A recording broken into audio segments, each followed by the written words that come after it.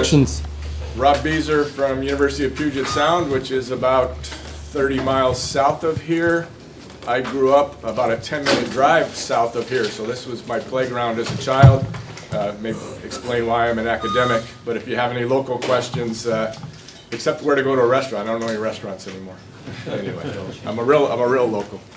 Uh, so I'm real interested in educational uses of Sage, uh, interested in the notebook, interested in Williams' uh, cloud math service he started, all those sorts of things.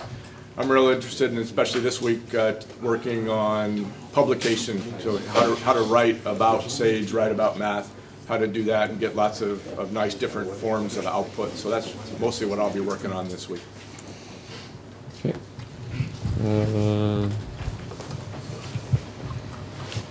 Hello, I'm Greg Bard I'm from the University of Wisconsin, and uh, I got involved in Sage for research originally, but then I discovered it's really useful for teaching. So uh, I teach mostly calculus for engineers and uh, business mathematics, and I'm uh, writing a book for that later audience. So uh, talk to me if you want to talk about any of those topics. Hi, I'm TJ Hitchman I'm from the University of Northern Iowa in Cedar Falls, Iowa. Uh, I'm one of the, well, now expiring Utmost test sites. Uh, so I have a little bit of experience trying to get Sage involved in my classroom, in particular linear algebra. Uh, I'm still working on that, so if you'd like to talk, that'd be great. Uh, hi, I'm Davis Shurbert. Um, I'm from the University of Puget Sound with Rob over here.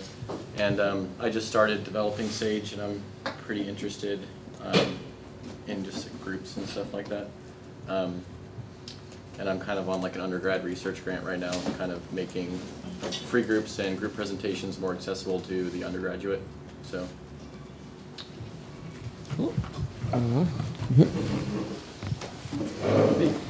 Uh, John Travis, Mississippi College. Um, I'm interested in using WebWork and teaching, you know, just regular. Also, um, I do web work, and so we're working on doing a WebWork interface. We have several problems now working with um, Sage inside of WebWork. I'm Jason Grout. Um, I've been working a lot on the web interfaces to Sage, particularly the Sage Cell server. Please speak up. Yes. I'm Jason Grout. I've been working a lot on the web interfaces to Sage, like the Sage Cell server and things like that. Um, I'm also really interested in Sage in education, uh, so particularly linear algebra, Calc 3, things like that. Uh, I'm Jason Aubrey. I uh, work on the WebWork project, and I'm here to uh, further integration with Sage and uh, WebWork, particularly on the problem authoring side. I'm Veronica, I'm a student and I'll be working on coding theory. I'm interested in cryptography and coding theory.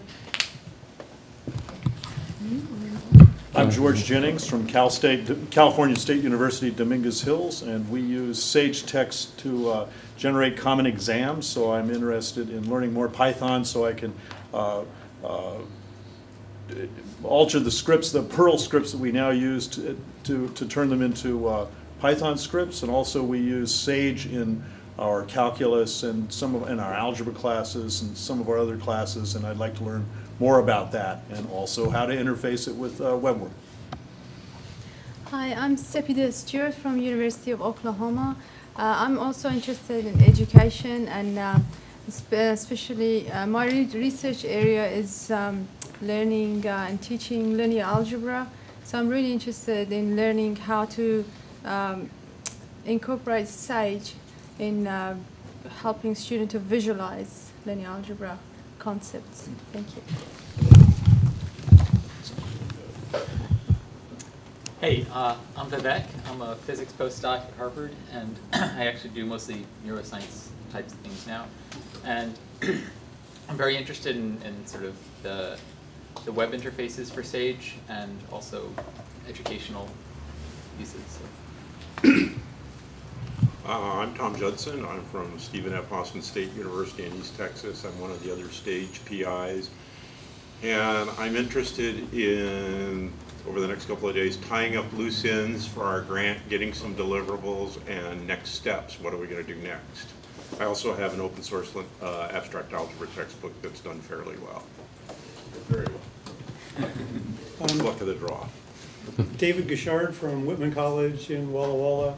I'm primarily interested in SAGE for teaching. I've used it a little in calculus and linear algebra and I'm hoping to get some stuff together to teach combinatorics and graph theory. I'm Martin Flashman. I'm from Humboldt State University, which is in California.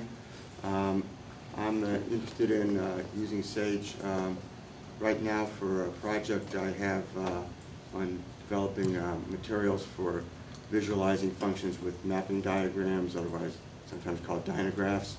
And um, I have a calculus book that's been on the web since the beginning of Calculus Reform, and uh, it's still on the web. The publisher got bought out. That's all. I'm Karl Dieter Crisman. I'm uh, from Gordon College and near Boston, and um, I have a few different goals here. One is uh, I have a number theory text that uh, is exists and is a HTML with embedded Sage, and I want to think about making that into something a little bit more uh, organized, like Rob or Tom's books, um, and not just a, bun a bunch of pages. And um, I also have a lot of symbolics and other tickets uh, that I want to continue reviewing and working on with some of the folks uh, back there. Um, so lots to do. I'm Jen Balakrishnan. I'm a postdoc at Harvard. Uh, I use Sage a lot uh, in my research in number theory, but I'm interested in learning how to use it uh, to teach calculus and linear algebra and make those things interactive. I'm Chris Davis. Right right now I'm between a postdoc at UC Irvine and one at University of Copenhagen. And this last year I used Sage in two cryptography courses. And I just sort of put things together hackily as I was going. And so I'd like to sort of work on polishing that and making it more organized. Hi, I'm uh, David Perkinson from Reed College in Portland. And uh, we're at, Reed is one of these utmost test sites. So there are several of us who have been using Sage in the classroom. I use it a lot in my research too. Um, one of the courses I used it in last year uh, was a course on hyperplane arrangements, and as part of that, uh, using Richard Stanley's notes. And as part of that course, I was just kind of systematically going through and put all that stuff into Sage. And again, I, like you, I was just kind of hacking it together the night before, and so I would like to kind of polish that up this this uh, this next week. Cool. I'm Kiran Kedlaya from University of California, San Diego. I'm another one of the Utmost PIs. And uh, as such, I suppose I'll be spending most of my time this week thinking about end of this grant and, and next steps. Um, I'm also a longtime Sage user, uh, so if anybody gets stuck on something, I'll be kind of floating around a bit as well. Uh, my name is Barry Balof. I'm from Whitman College, and I was one of the uh, Utmost test sites last year, so I used it for abstract algebra in the classroom. Um, found it very useful and would like to branch that out this week, possibly into combinatorics, um, to probability, or more incorporation of, of Sage into web work. Uh, I'm Glenn Henshaw from uh, Cal State Channel Islands, and I originally kind of uh, started using Sage in a research context, but I, so when I teach um, number theory, I found that, uh, you know, uh, planar lattices are a good way to kind of introduce students to, um, uh, to al- the algebraic, to algebraic number theory and ideals and those sort of concepts. So I, I kind of want to use uh, Sage to make uh, some interactives, interacts and stuff like that. My name is Keith Clawson, and uh, I'm interested in geometric measure theory, but here I'm working mostly on the computer system side of things and making sure that develop the servers that are used for development, the web, hosting the websites and everything are open stable. People can log in and things like that. And this is my wife, Anna, and she's a linguist, and she's working on some translating some papers and writing a paper on African languages, so it's completely unrelated to the stage. But it's a nice, very nice place to work for her. And I'm local, so if anybody has any questions about local things. Uh, I'm Susan Lins, I'm from the University of Colorado, and I'm the evaluator on the project. So I'm going to be pestering you with surveys at the end of each of the next three days. Please fill them out and be honest. All your responses are confidential. Um, so anyway, uh, that's my role here is to watch and do surveys. Steve Singleton from Colorado. But actually, I'm teaching at Coe College, which is in the neighborhood of University of Northern Iowa and not too far from Drake. So nice to know I got some neighbors. Uh, I teach physical chemistry there using the POGIL approach. It's a non-lecture based process-oriented inquiry, if you've heard of that. Uh, so I'm, uh, it's basically no lecture, so I'm looking for ways to uh, have students learn quantum mechanics and thermodynamics without learning calculus. They've had calculus, but uh, hopefully we're going to try to do no calculus by hand and see if that flies. Uh, we can make progress on the chemistry. I'm Jeff Denny from Mercer University, and I've used SAGE for, I guess, two years now, and I've used it in teaching Calculus 1, Calculus 2, differential equations, modeling, and statistics. But this week, I want to focus on um, calculus uses, and especially on widgets like you'll see at some of the single-cell server sites. I find there's a lot of cases where it's great to bring in SAGE into a formal presentation, but there are so many times when you're teaching and somebody asks you something, you need something now, and you don't have to time to write a lot of code, and have a lot of co colleagues who would use it if they didn't have to write a lot of code. And so I want to make little widgets that you can pull up and use on the fly and modify on the fly. I'm Laurel Drain from Cal State Channel Islands. I'm a master's student. I just started using Sage in a research setting this, actually just last semester. And I'm pretty much just here to uh, learn new things and see what I can do use Sage for. Volker? I'm Volker Braun, Oxford, University of Oxford. Um, I use Sage in my research on geometric aspects of string theory and quantum field theory. I've written, uh, I've worked on toric varieties in Sage and some of the group series stuff in Sage. Um, I'm maintaining the virtual machine. If anybody is using that, then do you have any problems with that? Uh, Ira? Ira Hanson. Um, I'm working on the uh, Sage Cell server. Where are you from? Uh, from Northfield, Minnesota, and I just recently graduated from Drake. Congratulations. Okay, uh, Andre?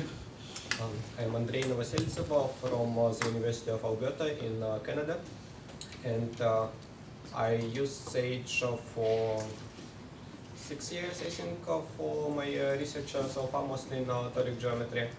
And in the last two years, I'm actively using it in my teaching. I wrote a bunch of interacts for um, vector calculus and multivariate calculus.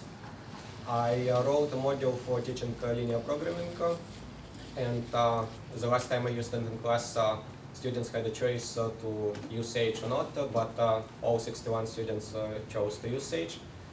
Hopefully they didn't regret.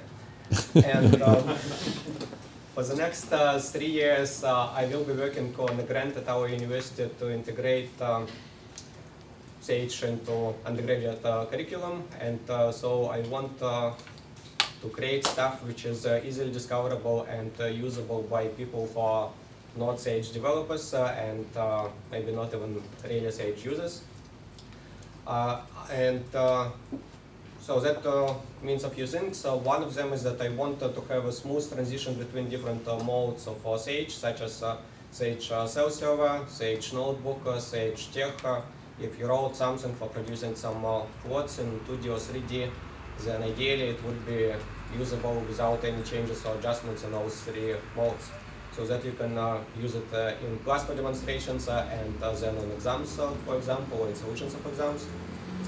Uh, so uh, here I am uh, working on fixing a few bugs in current notebook which are in the way of this goal. Uh, and another thing that uh, I'd like to eventually accomplish is to have uh, interacts which do not bitrot. So not just you can run the code and it uh, runs, but uh, when you make some uh, changes to the controls, it still works as expected as you upgrade versions of Sage, or, or so that you have some way to tie your interact to a particular version of Sage using Sage uh, Server. and also all these uh, things should be easily discoverable uh, by uh, other people and for particular universities, it means that there has to be some uh, catalog code which uh, will be tied to course numbers used in a particular institution. So I'll try to think about it and hopefully do some progress. Okay. Uh, I'm Burçin Eröcal from University of Kaiserslautern in Germany. I am one of the long-time Sage developers. Uh, these days I contribute mainly to symbolics. I'm the maintainer of the C++ library that provides us symbolic expressions in Sage. And this week uh, I am working on special functions, especially related to uh, Eviatar's GSOC project, which he will probably explain now. Uh, I'm Eviatar Bach. I'm from the University of British Columbia. Um, and yeah, I'm a Google Summer Code student. I'm going to be working on uh, special functions uh, and symbolic wrappers and hypergeometric functions. I'm Brian Beavers. I'm one of Tom's colleagues at SFX, Stephen F. Austin State University in East Texas. We're uh, at Utmost Test Site. We um, use Sage in our calculus labs for calculus 1 through 3. Um, I also have set up a little local server to administer just in case the big one ever goes down while we're in the middle of a lab and everybody needs. So I'm uh, interested in administration of servers and um, in particular, personally, I want to work on integrating more of the single cell server and other um, techniques into our online courses for uh, pre-service teachers. I'm teaching one of them online right now, and if I could get some of that inserted for the module I've got to open on Friday, that would be really nice. Has everybody introduced themselves except me and Jason? Well, I already introduced. You did. How about you? Okay, so it's just me. So hi, I'm William, and I started Sage. My I'm one of the Utmost PIs. I've used Sage in every course I've taught since I started Sage, and uh, written some books that have Sage in them. And currently, my main interest is creating this uh, web interface to Sage called cloud.sagemath.com, which uh, I mean, the main goal of it is to make it so that you can easily and always have access to Sage. Shouldn't ever go down and um, should be usable on a lot of different devices. So that's the goal. Not there yet, but you'll see a demo at least in a few minutes. Okay. I probably should have explained at some point, you've heard a lot about this Utmost grant. Uh, it's a three-year National Science Foundation undergraduate education grant. So there's five of us that have been very involved with that. We've had 10 schools serve as test sites. The two previous workshops like this were part of the grant, and we decided to have a third one. We had some money left over, so that's what's funding this. So it's a little bit different uh, because the test sites have all sort of done their thing already. But, so when you hear references to Utmost and all that, that's what's going on. Now Utmost has been introduced. Yes, there you go. Okay.